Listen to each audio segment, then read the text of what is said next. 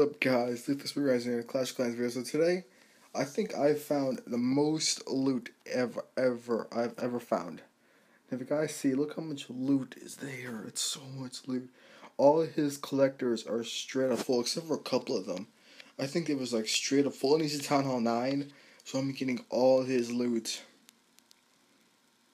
Yeah, this is like probably the most insane amount of loot I ever found in my life. I like to thank the Academy. So if you guys see right here, right now, uh, I don't know why, but I kind of want to go for the two star.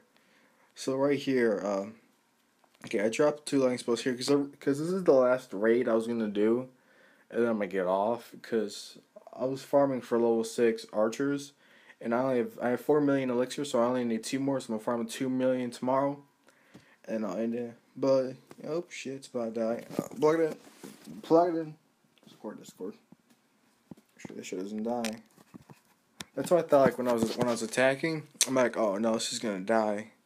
I'm gonna attack and just gonna die right off. Right here. Uh, I'm just on the why I felt like going for the two star. I just wanted to. So you see right here, uh, right, I'm gonna drop the king right here. He's gonna take out the queen right here. Smack his level three king. He's gonna take out that too. He's gonna take out this.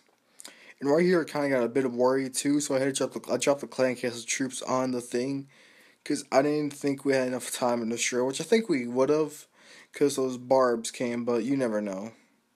So guys, that's gonna be the end of this video. See you guys later. Lethal Explore out. Have a nice day.